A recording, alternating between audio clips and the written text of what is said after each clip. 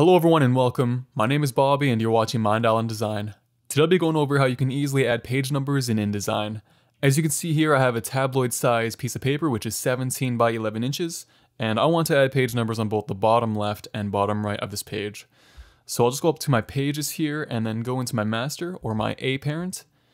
And let me just zoom in here. And I also want to turn on my baseline grid by going up to view, grids and guides, and then show baseline grid. Then I'll select my type tool and I'll just drag out my text box like so, and then go up to type, insert special character, markers, and then I'll select the current page number.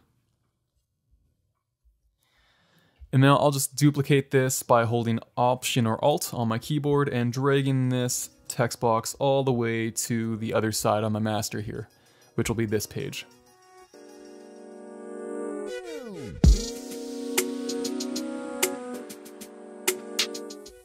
And then I'll just go into my properties and make sure that this type is aligned to the right here.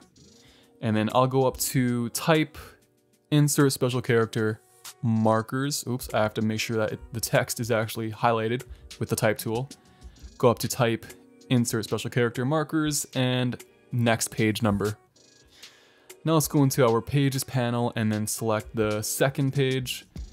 And now let's just add those parent pages onto this spread and let's see how the numbers are for the page. So as you can see here, we have the left side and then if we try and drag the other parent onto this page or this spread, we're not gonna get anything. And the reason for that is we need to convert this page into two pages. Let's see if we add a new page. Um, and now we can see that this page has three on it. So that's kind of where the confusion is. So let's just delete this page or undo. And um, let's just grab our page tool here, select this page, and then at the top here, let's just divide this right in half. So that would be 8.5 by 11.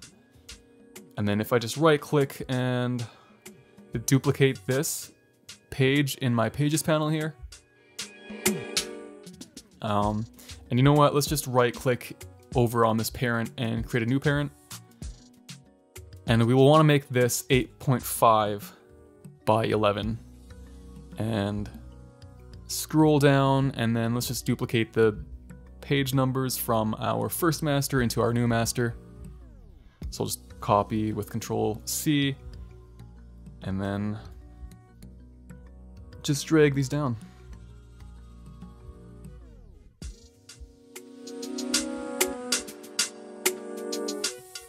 And just like before, duplicating this page number and aligning it to the right.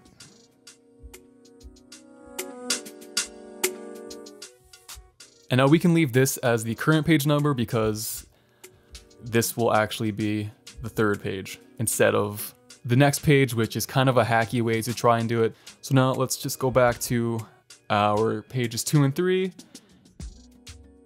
and just apply the B parent this time. And we can use the parent page size, use the parent page size, and there we go. Pages two and three. And this is still the tabloid size uh, piece of paper, it's just literally two pages instead of one. And that's how we can get the numbers working properly in InDesign. I hope this video helped. If it did, make sure to leave a thumbs up and subscribe to never miss a new video like this. Thanks for watching, and I'll see you in the next video.